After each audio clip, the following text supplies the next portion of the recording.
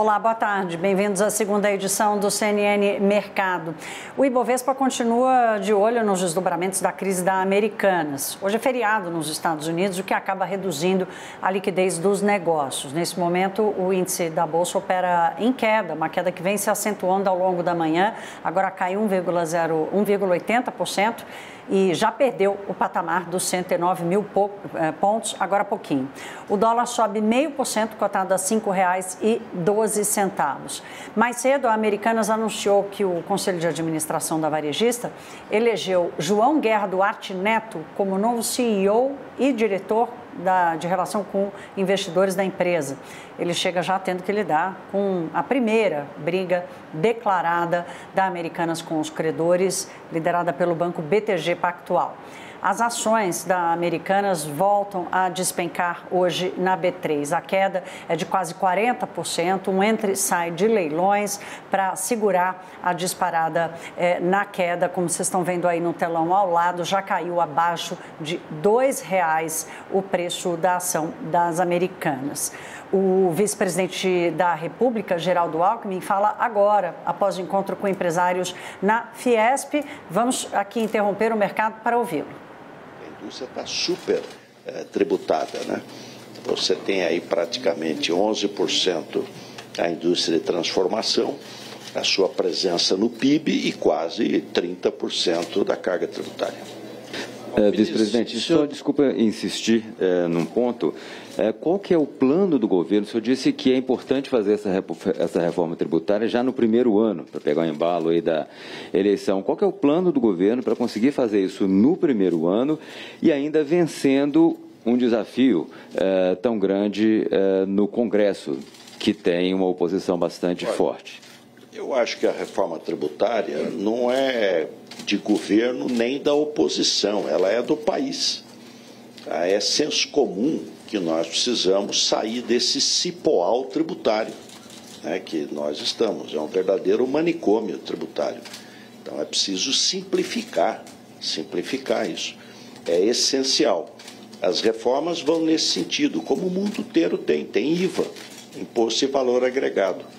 Então é simplificar é trazer mais segurança jurídica, é, é uma reforma que pode trazer ganho no PIB, porque ela traz eficiência econômica. Eu diria que é a reforma é, importantíssima. E está madura, foi discutida, debatida, eu acho que está bastante madura.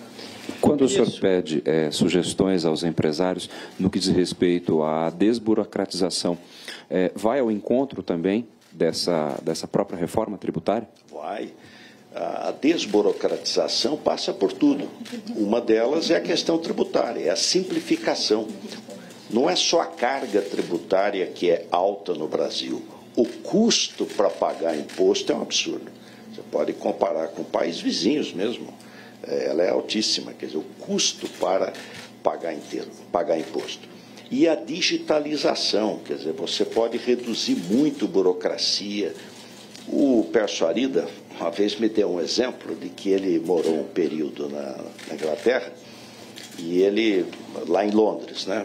Claro que coisas mais simples, por exemplo, uma consultoria. Onde é que você registra a, empresa? Lugar nenhum. Abre uma conta no banco. Quero fechar a empresa. Fecha a conta no banco. Nós precisamos simplificar, desburocratizar. Esse é o item importante da competitividade. Tem custo. O senhor falou do BNDES, é, aqui atrás, aqui atrás. Oi? Ivan, do Globo.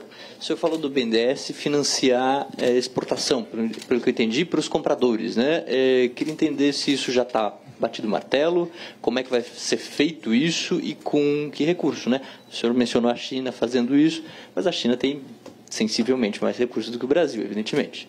Então, o BNDES ele pode buscar recursos lá fora. Você tem recursos a custo é, menor lá fora e ajudar a financiar. Então, o que, que o presidente do BNDES, o Alísio Mercadante, o, ele tem destacado? A questão da economia verde, que precisa ser é, incentivada, a questão digital, né, da inovação, inovação E um ponto importante é a exportação, especialmente de valor agregado mais alto. Porque você acaba, eu dei o exemplo da Argentina. Dizer, a Argentina é o terceiro parceiro comercial brasileiro, excluindo a União Europeia, e é para onde nós vendemos mais produto de manufatura, não só primário.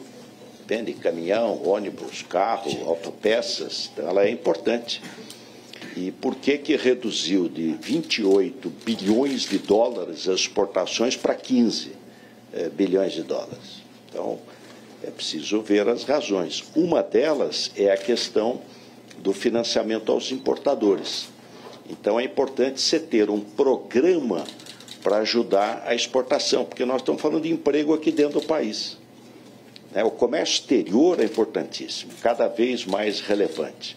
Então, tudo que se puder fazer para fortalecer o comércio exterior, que não é só exportação, é exportação e importação também.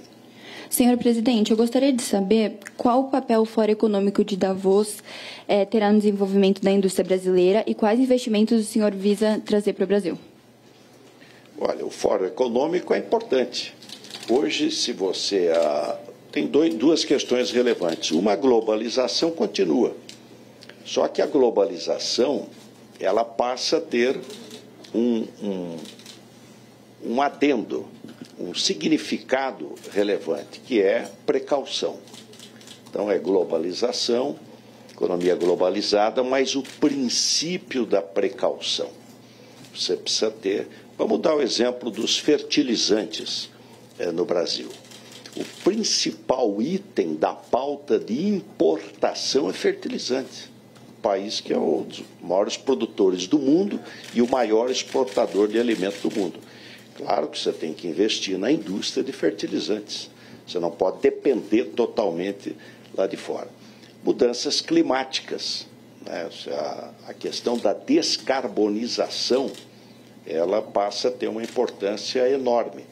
E o Brasil deixa de ser párea na questão internacional, a imagem do Brasil muito ruim com o desmatamento da Amazônia, principalmente, para ser o grande protagonista da descarbonização, da transição energética, da produção com menor emissão, com compensação de carbono, abre aí um espaço enorme. O senhor falou de um programa chamado Bipartide, aqui atrás, é, Felipe Mendes da Veja. O senhor falou de um programa chamado Bipartide, se eu não é, entendi errado, é, que seria em parceria com a Argentina. Eu queria entender melhor como é que isso. Não, a Argentina, o Brasil e a Argentina têm uma comissão bipartite, tem uma comissão bilateral, Brasil-Argentina, para produção. Essa comissão está há quatro anos praticamente parada, sem se reunir. Então, reativar, independentemente do Mercosul, que é importante, mas, eh, por exemplo, a discussão do Mercosul-União Europeia, ela é central. Então, independente disso, reativar essa comissão bilateral Brasil-Argentina. Mais uma só, tá? queria saber, o senhor, como no seu cargo de ministro, né, como ministro, se o senhor apoia a permanência de Josué como presidente da Fiesp, enfrenta um embate dos sindicatos, inclusive no limite é, falam até hipoteticamente, da eventual destituição. O senhor apoia ele como presidente da entidade? Olha, esse é um assunto interno da Fiesp. É, eu não, não faço parte da Fiesp, portanto, é um assunto interno, mas quero registrar o meu enorme apreço uh, pelo presidente da Fiesp, pelo Josué. Um grande industrial uh, brasileiro, com grande liderança uh, e espero que logo, logo se resolva, porque é importante uh, estar unida né, todo esse setor. E vamos fortalecer muito esse laço aqui com a Fiesp para poder caminharmos aí na recuperação uh, da indústria, que é valor agregado, emprego, emprego de salário mais alto, enfim, poder atuar bastante. Muito, Obrigada, muito obrigado a vocês. Tá aí, ouvimos o vice-presidente da República e também ministro do Desenvolvimento e Comércio, da Indústria e do Comércio, Geraldo Alckmin. Destaco aqui alguns pontos. Ele falou da perda eh, da, do espaço da indústria brasileira, da indústria da transformação na pauta de exportação. Não deu detalhes, mas afirmou que deve crescer a atuação do BNDES no financiamento e investimentos para o setor e falou na reativação de um fórum de debates entre Brasil e Argentina. A, o Mercosul é o terceiro maior parceiro comercial, a Argentina liderando essa relação e a indústria da transformação brasileira teve eh, perdeu espaço na pauta exportadora do Brasil porque perdeu muita competitividade nesses últimos anos. Então, a visita de Geraldo Alckmin ao eh, à sede da Fiesp, a Federação da Indústria de São Paulo, não só é um movimento eh, que demonstra ali uma, um diálogo e uma ponte com o setor industrial, mas também reforça a posição de Josué Gomes da Silva, atual presidente da Fiesp, que tem sofrido críticas e é, vários obstáculos internos na federação, essa que foi sempre uma das maiores representantes do setor industrial do Brasil. Mais detalhes na programação da CNN Brasil, que vai acompanhar, continuar acompanhando a agenda do vice-presidente Geraldo Alckmin. O CNN Mercado fica por aqui, mais tarde também tem atualizações do que está acontecendo com a Americanas e as novidades envolvendo a varejista. Fernando Nakagawa volta com as atualizações do fechamento de mercado às 5h55 da tarde. Uma boa tarde para vocês.